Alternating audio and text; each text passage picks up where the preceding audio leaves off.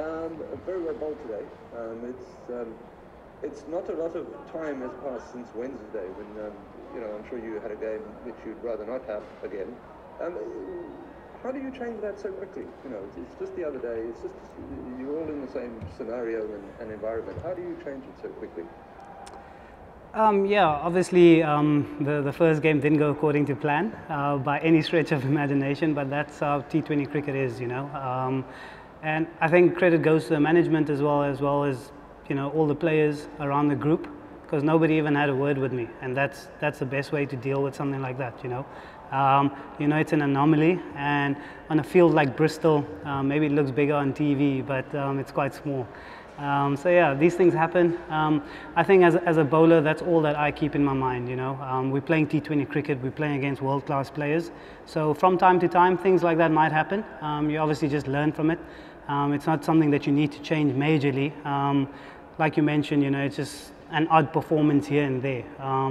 so yeah, I didn't really give too much thought to it. I don't think there was much to think about because a lot of that was not great, to be honest. Um, but yeah, just focused on, on what I know I can do best from the next couple of games. And um, thankfully, you know, we're back on track. Thanks, Telford. Ken? Thanks, Lucy. Uh, very well, Bob.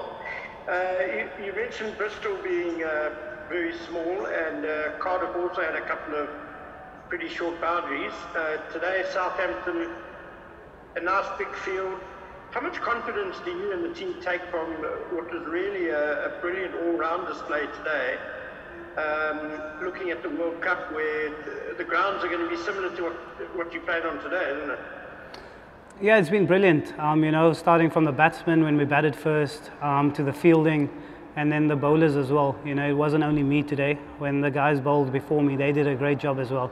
So there's a nice thing building up with our team, and I think we've been on that journey since last year, um, since before the World Cup um, as well. So there's a good good amount of confidence um, within the team. Um, we know we have different match winners, and you can see throughout this series and the previous series as well um, that there's different guys that that win these man of the match awards and and put in um, game-changing spells or, or, or, innings with the bat, you know. Um, so I think that's a nice thing about our squad. We don't rely on one or two guys, um, and we know we have a we have a certain game plan that we're trying to follow, um, and we don't really pay too much attention to how the other teams are playing. We play to our strengths and, and try and work on those. Thanks, Ken. For those, then Nathan.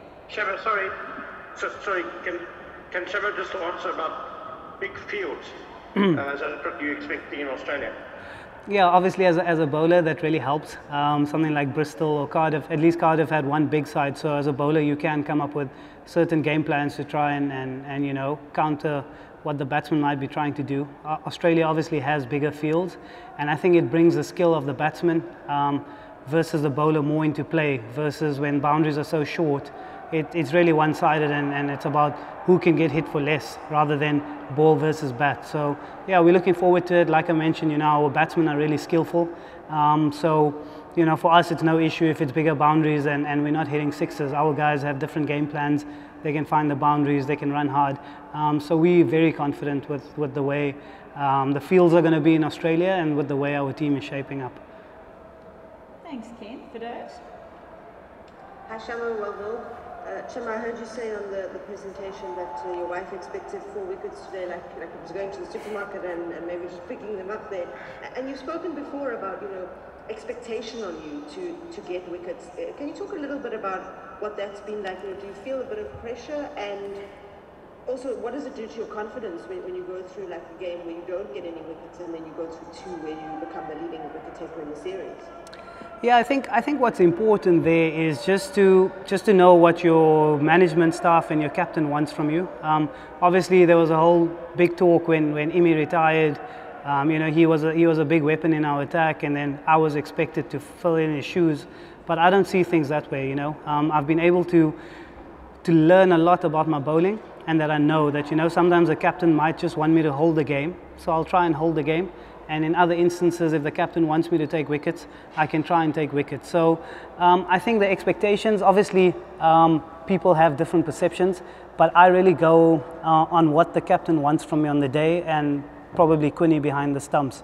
You know, that's what I try and gauge things from and try and do whatever um, the team needs on, on the day for us to win the game. Whereas, you know, for example, today the rate was already at like 11s or, or 9s or something like that when I came onto ball. So for me, my first priority was just to keep that run rate going up, and that obviously brings a wicket. So yeah, for me, I don't see it as a as a disappointing game if I don't take wickets. I'm happy doing my role because I know as a bowling unit, we're all capable of taking wickets, and on the day we're all also capable of you know holding the game for the other bowlers to take the wickets. Thanks for those. Uh, sorry, Nathan. Before we go to you, we'll just open up to the floor. Dean?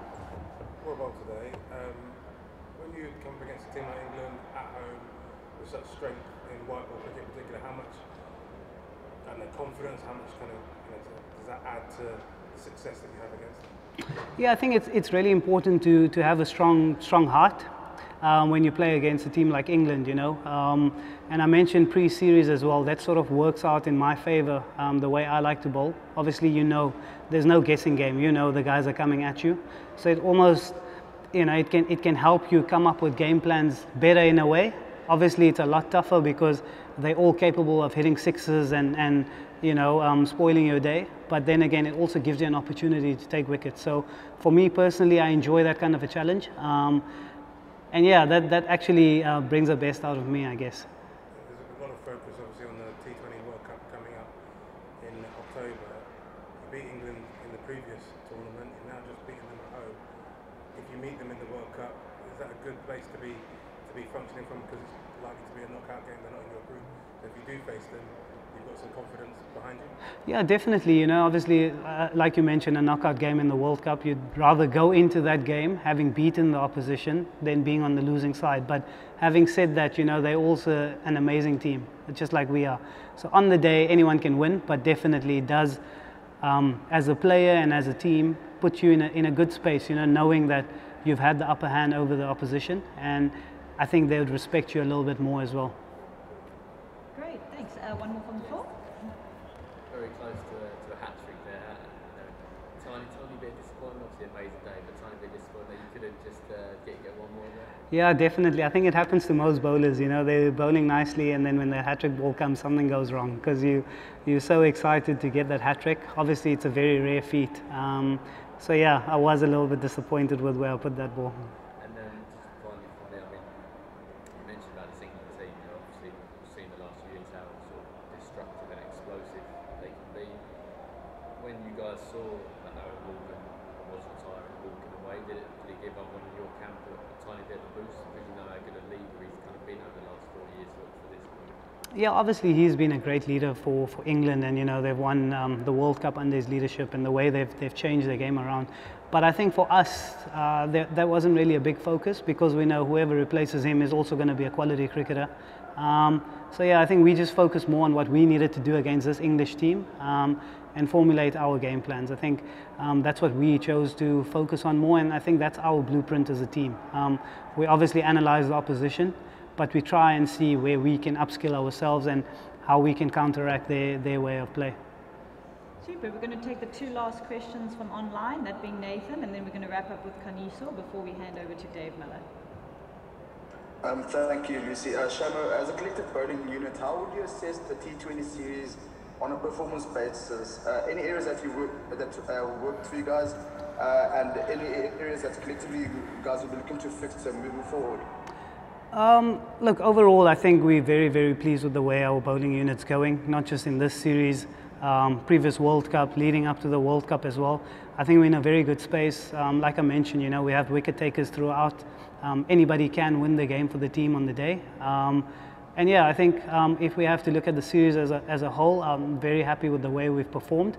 And the nice thing is the guys just put that in the bag and, and try and improve for the next series.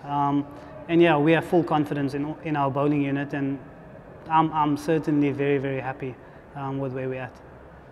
Thanks, Nathan. And then lastly, Khanyiso.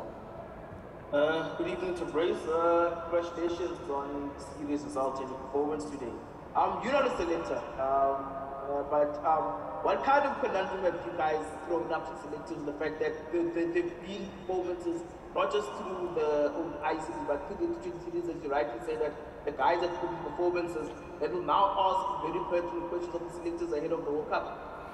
Yeah, thank you very much. Um, obviously, we're very, very happy with the series win. Um, and you know, luckily I'm not the selector. The captain will be up next, um, so you can ask that question to him. Uh, he's got a bit more headaches than I do. Um, but you know, as, as a squad, that's what you want. You want guys performing, um, and I think healthy composition is always good in a squad. Um, so yeah, I think that's where I want to leave this. David will be ready when he steps up for that.